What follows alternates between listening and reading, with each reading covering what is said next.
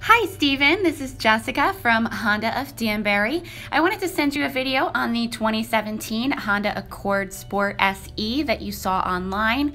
You can see it has the dual exhaust, the nicer wheels, you have the red stitching with the leather upholstery.